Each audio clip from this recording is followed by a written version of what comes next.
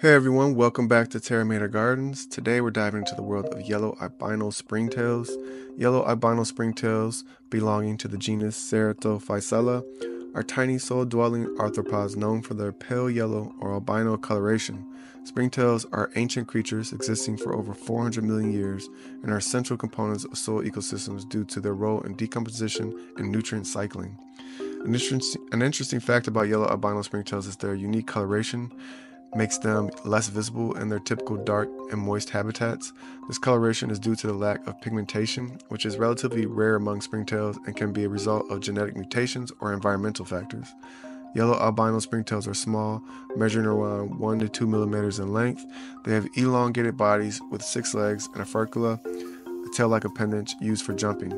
Their lack of pigmentation gives them a distinctive pale yellow or white appearance, making them stand out from other springtail species. Yellow albino springtails thrive in moist environments rich in organic matter, such as leaf litter, decaying wood, and compost and soil. They're widely distributed and can be found in various regions across the globe.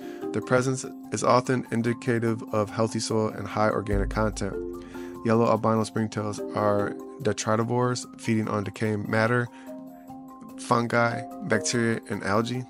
Their feeding activity helps break down organic material, contributing to nutrient cycling and soil fertility.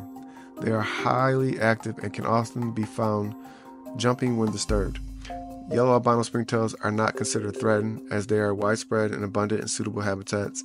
However, they are sensitive to environmental changes such as pollution, habitat destruction, and changes in soil moisture. Conservation efforts focus on maintaining healthy soil ecosystems and minimizing human impact. That concludes today's guide on yellow albino springtails. These tiny, unique springtails play a vital role in soil health and ecosystem functioning. Thanks for listening, and if you found this information helpful, feel free to like, share, and leave a comment.